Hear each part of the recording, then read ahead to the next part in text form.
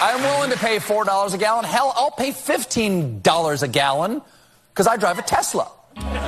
Gas prices continue to be a major concern. High gas prices continue to sting nationwide.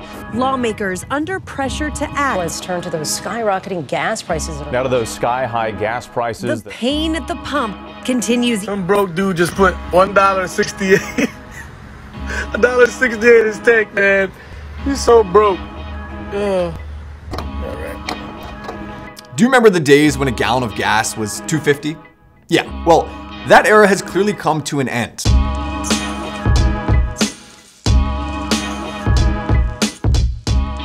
As you've definitely noticed by now, gas is up to four, five, or even six dollars a gallon, and even higher if you are unfortunate enough to live in California. In early March, gas prices shot up 50 cents in a matter of days, even going up 18 cents on Friday, March 11th alone.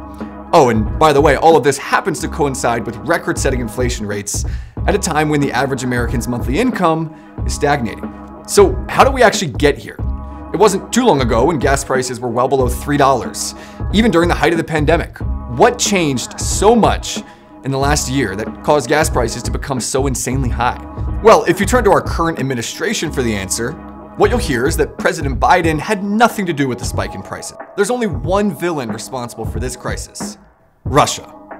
Russia is incredibly rich in oil and historically exports more oil than almost any other country on Earth. They account for 11% of the world's oil supply.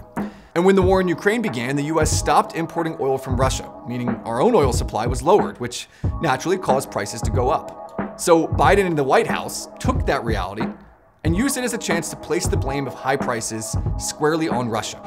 Russia's responsible. All while ignoring the broader context that prices had already been going up well before the war disrupted things.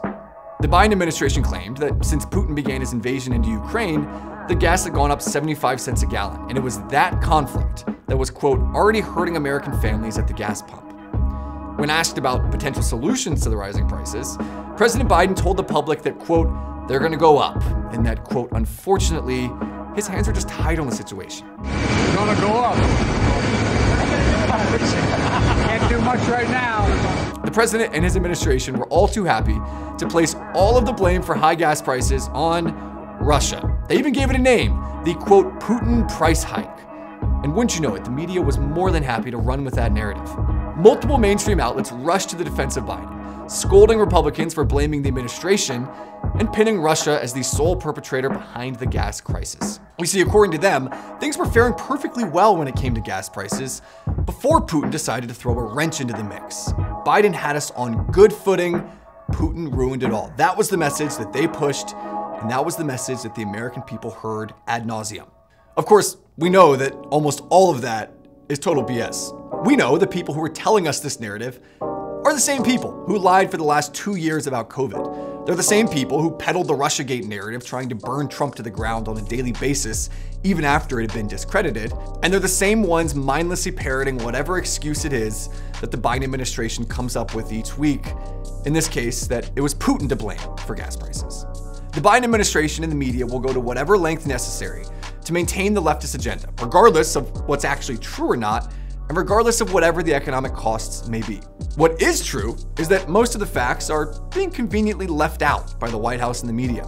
This didn't all start with Russia and Ukraine. Yes, it's definitely true that the Russia Ukraine conflict has affected oil prices. Russia does account for some of the largest oil supplies in the world, and their invasion certainly contributed in part to prices going up. It's supply and demand. So, just how much oil were we actually getting from Russia before the war? Is it 50%? Surely it's at least 25%, right? No, before the conflict, we were getting 7% of our oil from Russia. In other words, we never truly needed them for oil at all. You see, what President Biden didn't want people to know is that before he took office, the United States was actually energy independent. During Trump's presidency, the US became a prime exporter of oil, and gas was, wouldn't you know it, averaging roughly $2 a gallon. So, how do we lose our ability to be independent on energy in just one year? Well, when Biden took office in 2021, he shut down the Keystone XL pipeline project, immediately destroying the jobs of thousands of Americans and, more importantly, essentially crippling our shot at lasting energy independence. The pipeline would have delivered nearly a million barrels of oil a day, from Canada down to refineries in Montana, Nebraska, and Texas. Now that project is dead, along with over 11,000 jobs, and along with our opportunity to be independent from an energy standpoint. The Biden administration also froze oil leases in Alaska's Arctic Refuge, one of the most oil rich regions in the US, which former President Trump had granted leases to back in 2017 under the Tax Cuts and Jobs Act. Biden's move to freeze those leases was widely criticized at the time by both sides of the aisle. They called it impractical and pointless, and many, including Alaska's governor, Mike Dunleavy, called it a violation of the act itself. It also doesn't help that the Biden administration has gouged out the economy by adding trillions to the national debt.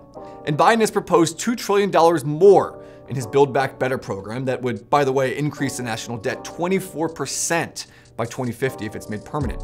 That enormous influx of trillions of dollars into the economy in just a few short months left inflation soaring and gas prices rising well before the war in Russia. If only there was hundreds of years of basic economics that could have warned us that shooting trillions of dollars of money into the economy out of nowhere could cause the prices of common goods to rise, but again, no one could have ever warned us. Of course, no one should be surprised by Biden's actions. He's been rallying to destroy the fossil fuel industry for years. He's been quite open about it, actually. In December, he signed an executive order to reach 100% carbon free energy by 2050 and to ensure 100% of cars are electric by 2035. And during a Democratic primary debate in 2020, he outright swore to end subsidies for the fossil fuel industry and to take drilling permits away. Would you close down the uh, By oil the way, I would transition from the oil industry, yes. Oh, I would that's transition. a big. And I'd stop giving to the oil industry, I'd stop giving them federal subsidies. So it seems President Biden and his administration have a clear plan for how they're going to handle this crisis. They're going to destroy the oil and energy industry and replace it with trillions of dollars in spending on climate programs that have little effect.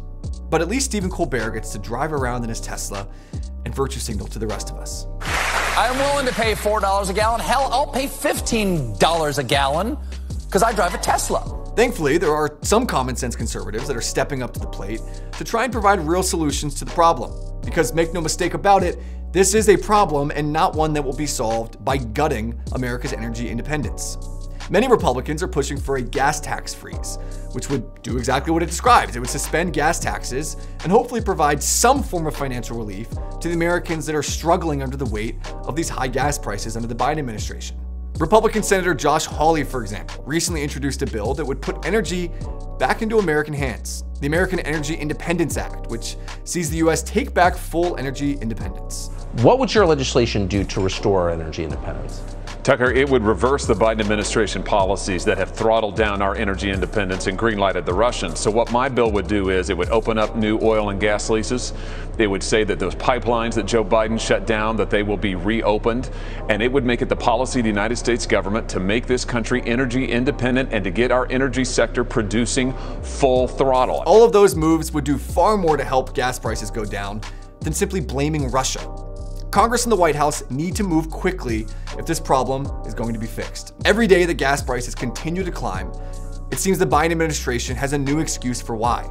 It's not enough to put the blame on other people as opposed to looking in the mirror and realizing what your role in this problem is.